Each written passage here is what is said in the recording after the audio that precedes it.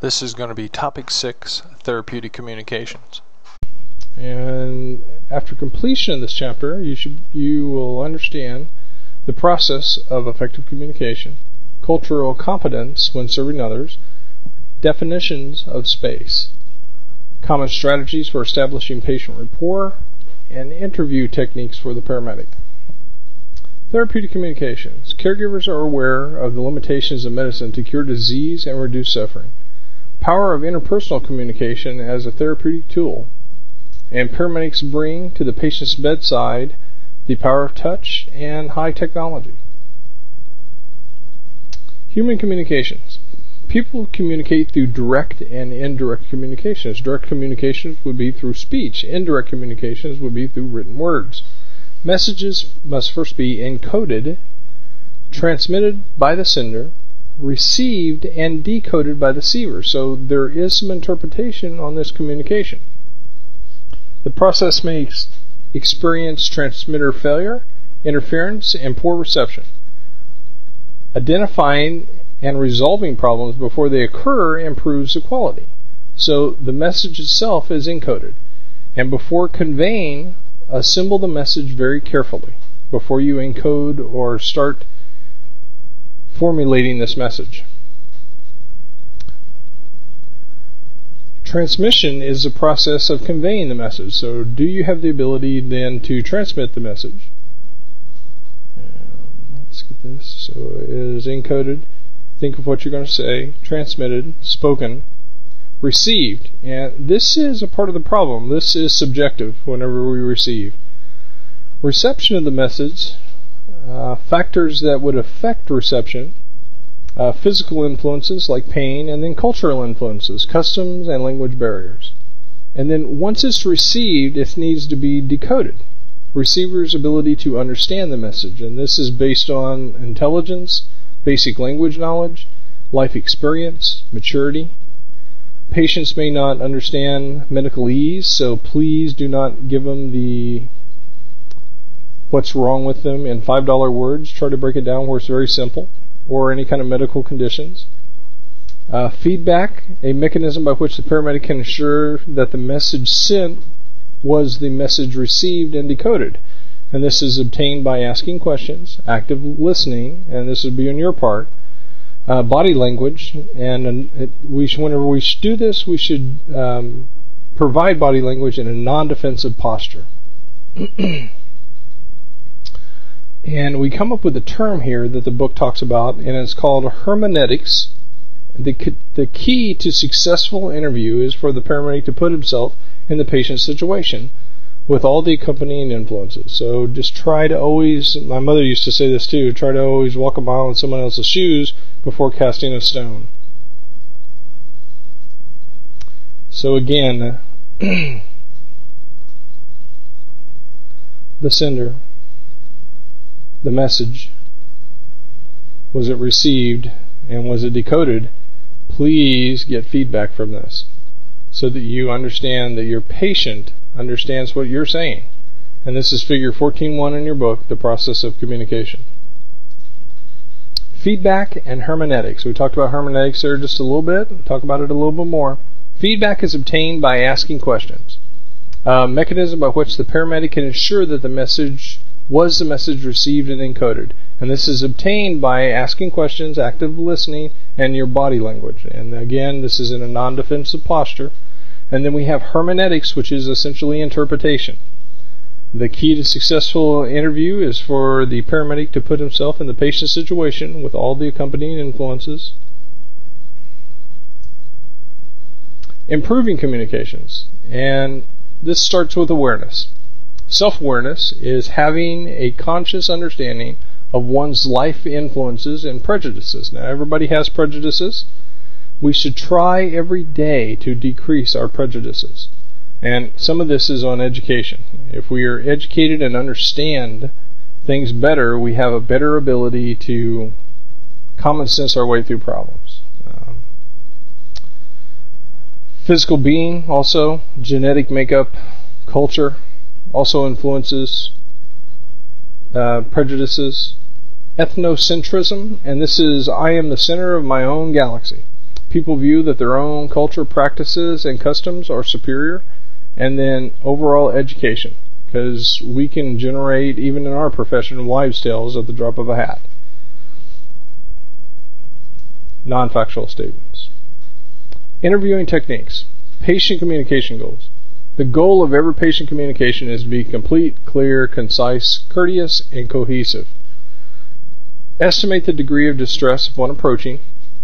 Reassure relief is coming. If the patient is not in extreme distress, start a conversation to figure out symptom pattern and to diagnose appropriately. Interviewing considerations. Now, this is a pretty long list. We're going to talk about each one of these and kind of define it for a second. Proxemics. And proxemics are the physical distance between the paramedic and the patient and there are multiple spaces, which we're going to talk about in the next slide. Intimate space, personal space, social space, and public space. Now, each one of these have a standardized um, distance between the paramedic and the actual person. Uh, next one would be kinesthetics, kinesics. My apologies the study of nonverbal behavior for communication, and this includes all bodily movement, facial expressions, posture, gestures, and so on. Compassionate touch. Uh, critical care units have shown that intracranial pressure, heart rate, and blood pressure can lower towards normal with compassionate touch. Therapeutic touch, the power of touch to heal.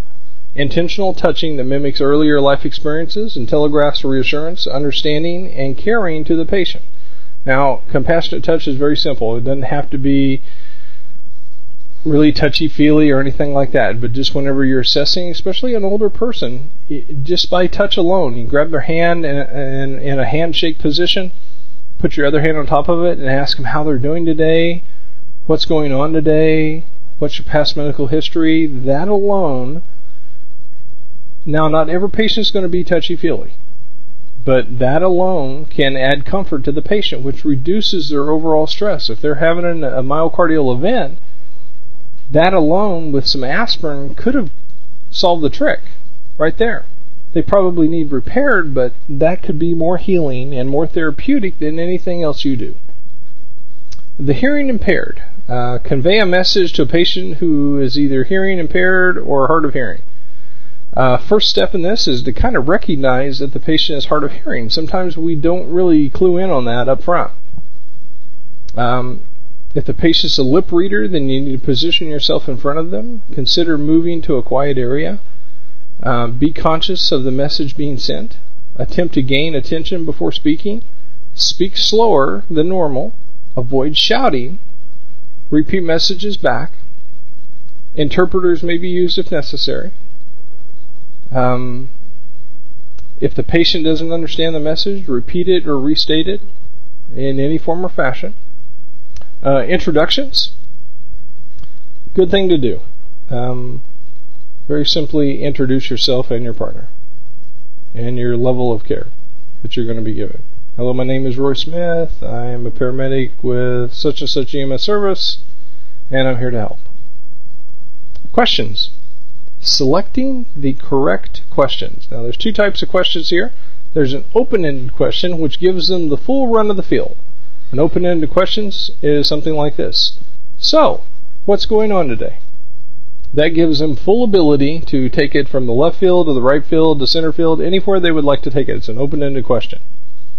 Versus a closed-in question. Now, oftentimes whenever we're in emergency, we kind of close in their questions a little bit. An example of this, sir, you having any chest pain today? Or, ma'am, are you having any chest pain today? Using proper tone. Be aware of voice inflection. If you have a booming voice, be aware of that as well. Encouraging behavior. Um, to facilitate dialogue, acknowledge patients' responses, whether they're verbal or nonverbal. Remain silent during painful disclosures. Share observations. Convey empathy. Clarify on anything that you're unclear on, and then summarize. This is Proxemics Illustrated. This is 14.2 in your book. Very simply, intimate space is going to be in the red. Personal space, up to 4 foot. And then social space.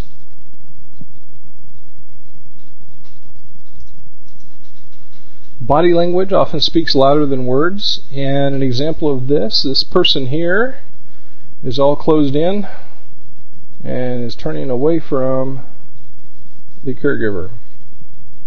Things to watch for. Not exactly an open person willing to answer questions.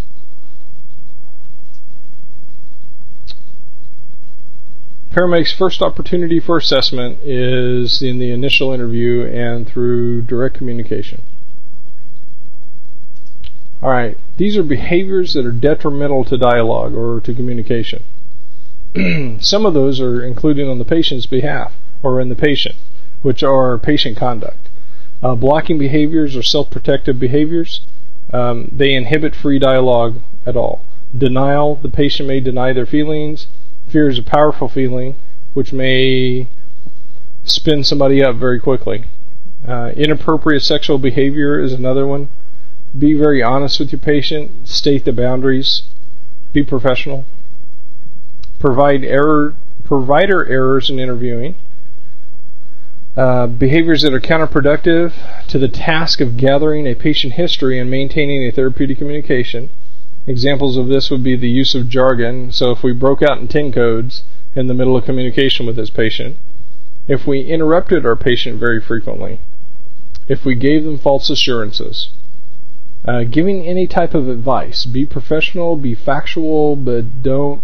If you're giving them a type of advice, an example of giving some advice that would not be really advice, I think today, sir, I can't kidnap you, but in my opinion, you would need to go to the emergency room to need to get checked out. Now, some patients can be quite contrary whenever they need to go to the hospital.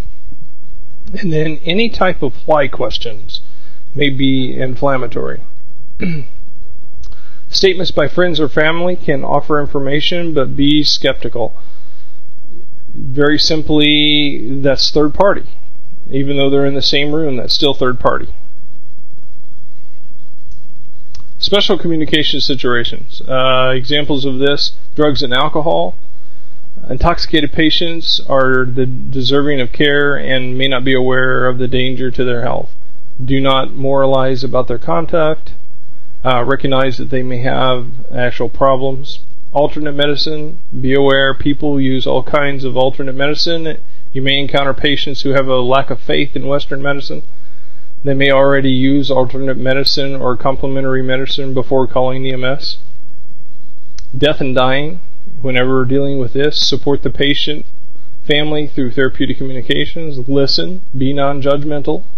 If the family is in denial, refocus on reality very gently. Uh, do not take displays of anger or criticism personally. They're just essentially in pain at that point. Be professional again. Conclusion Paramedics are, in many aspects, taught to romance the technology. EMS is, above all else, a caring profession.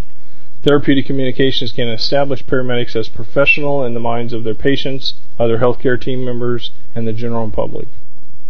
And if you have any questions concerning this topic, feel free to contact me. My name is Roy Smith, Smith R at SamaritanEMSOK.com or 405 492 8243. Thank you.